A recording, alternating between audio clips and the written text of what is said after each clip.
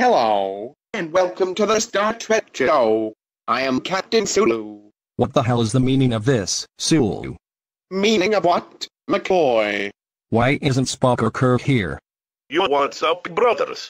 Oh, hey, Scotty. McCoy is getting all busy with me just because Spock and Kirk aren't here. Typical McCoy. You want me to beam him up?